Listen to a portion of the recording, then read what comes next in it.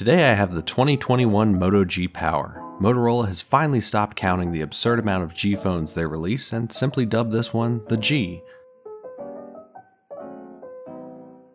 These are well past Zack's deeper level 7 grooves, and the screen needs to be replaced.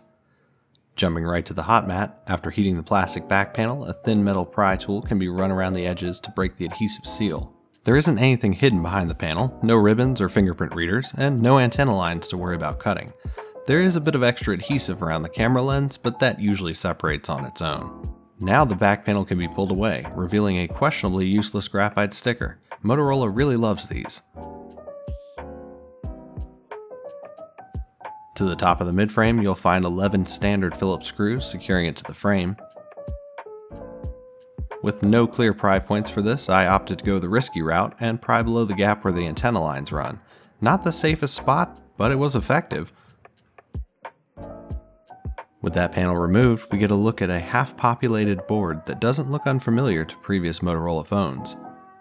Down to the bottom there are 8 more standard size screws, these are all the same size and length. Again, there are no clear pry points to remove this, and I again opted for the not so safe antenna point. This one wanted to be removed, otherwise it wouldn't fly away like that, right? Back to the top, here's the important part, disconnecting the battery. From there, basically everything else needs to be disconnected as well. Hidden below this camera connection is the only board screw. It's a shorter silver Phillips screw that should be kept separate. Down at the bottom for a moment, there's one ribbon that needs to be disconnected and another silver screw that needs to be taken out.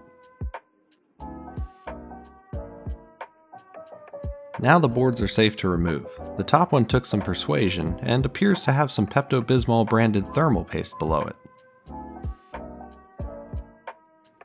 The battery comes out with some heat and alcohol. Check out my previous video on how to remove them if you need help. A black strip of electrical tape holds the antenna lines in a trench next to the battery compartment. This could have been designed much better. This long extension ribbon is also secured with a Motorola seatbelt under the battery compartment, I can't wait for this design to be phased out and replaced by something intelligent.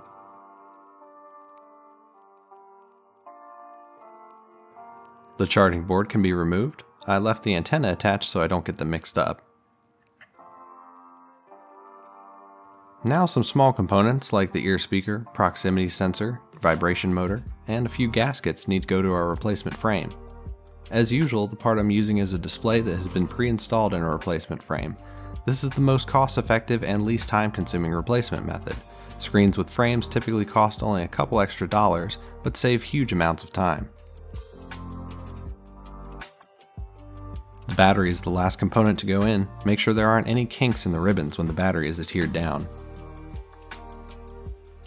Finally, the midframe is reinstalled along with all the screws. I'll be sure to test this phone before sealing the back panel to it.